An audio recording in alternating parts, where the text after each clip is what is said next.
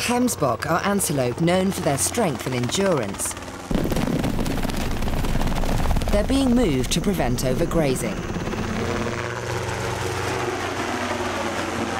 Uh, these are very aggressive animals because we're basically putting them under stress. And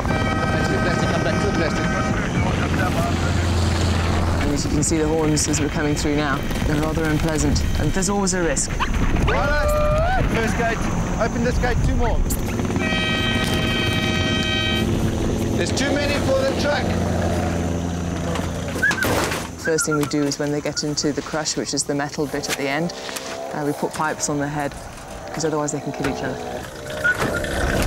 We can't reduce the stress completely, but we'll try and reduce it as much as possible. So that's with the use of tranquilizers. One of them I've got up here, which is a tranquilizer that I believe is used in human medicine for schizophrenia. I haven't tried it myself, but it works very well on the, on the game. Just wait, wait, wait. Give them some room. Give them some room. And unfortunately, what we have is a very narrow passageway here with one facing the wrong way. So um, we're just going to try to turn it around and then hopefully they'll go through. In a situation like that, when, it, when an animal's facing you and we panic at it, it's going to run the way it's facing. Put their horns down and then they'll come in for you. And that's that's a dangerous situation. Wait, wait, wait, wait, wait, wait, wait, wait, wait. Wait, lift the board up. Okay. So that's why we use the board. And it's, it's a very thin piece of metal. It's only like two, two millimeters thick. So the horns do go through it. But it just gives us enough time to jump out the way as well. Board. Okay, Pulgani, that baby's down there underneath this one. That's fine, that's fine.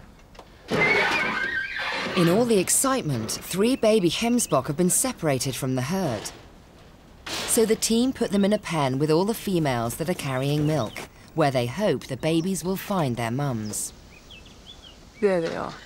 We'll probably give them 24 hours. If there's really nothing going on, the best option for them is to be taken away. I don't like that. I don't like doing it, but it's, it is the best option because if there's any element of doubt, they're just going to starve.